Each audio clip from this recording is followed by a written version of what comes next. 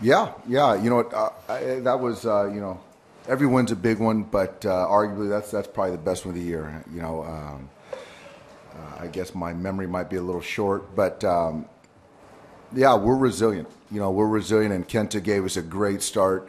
And for me, at that point, you know, just you know, seeing Peralta again and just giving up the double, and I just felt that you know. Um, you know, throwing 93 pitches, that was good for him, and our pen's been very good, and I like the matchups going forward, and you know, it just wasn't their night, and, and that's going to happen.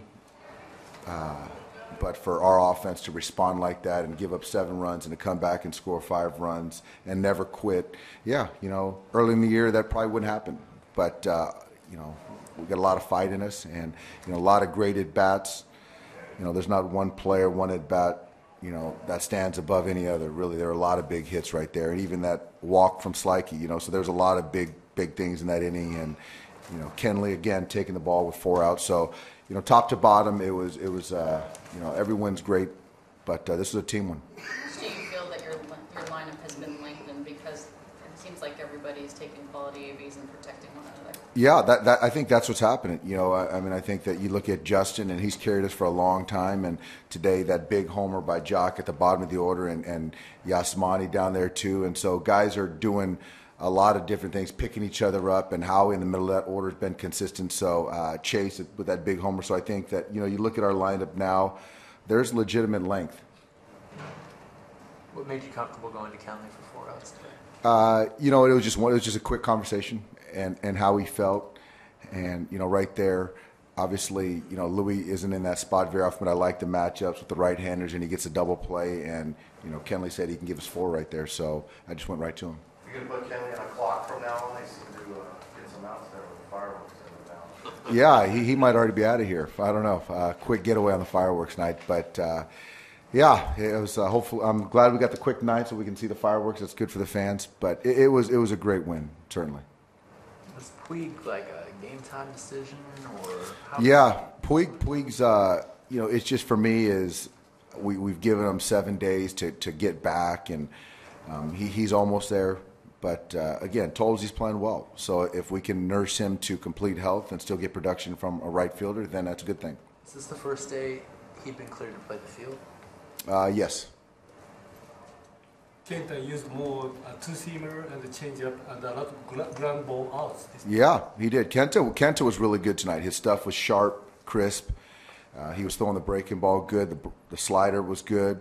And yeah, the two seamer was good, and the fastball location. He was getting some swing and misses, some outs with the fastball. So, you know, all, all around, very good job by Kenta.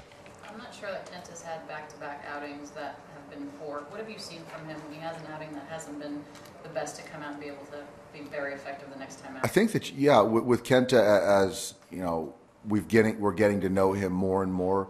There's a lot of fight, and even when he doesn't have his best stuff, he goes out there and competes, and that's every fifth day or sixth day whenever he's pitching. But you know, yeah, when he doesn't pitch well, you just see that determination that he wants to respond and, and pick up the pen, pick up the guys, and he just feels that load of every time he takes the ball that he wants to win a baseball game for, for his team. Was it just an off night for Blanton, or do you think the overuse is getting to him? No, no, I, I think it was just an unlucky night. I, I think that the stuff is as good as I've seen it in the last two weeks. Um, but you look at the hits that he was giving up, broken bad hits, some flares, and, and so, yeah, there was the walk to, to Weeks. But outside of that, you know, I, I thought that he was inducing soft contact. Does that apply to the whole bullpen? I mean, uh, Yeah, I mean, I, I think that everyone, you know, I think, you know, out, you know, there was a two strike hit by Goldschmidt, the double, which was uh, well struck, but you know, all these guys were giving up balls that just kind of found some outfield grass or really weren't hit that hard. do you have concern at all? I mean, they've been used a lot. Uh, level concern? Obviously, you can look at this and say that's just one of those nights, but at what point do you? No, but it's not right now. I mean, I think that I just look at the stuff. I thought the stuff was good. Even Avilan came in and threw the ball well, and you know, got a soft grounder from Bourn that ended up being a base hit. So, yeah, we talk about their usage a lot, but they all feel good. And I think for me, the stuff hasn't uh, curtailed. Um, so I think they they feel good. I think we're in a good place. It's nice to see the offense still has more. It's been giving you a lot lately. Yeah, you know the offense has really persevered. You know we started off really slow, but uh, you know we talked about their track records in April, and so these guys are kind of getting around where their marks are, their career marks, and um, that's why we play 162 games.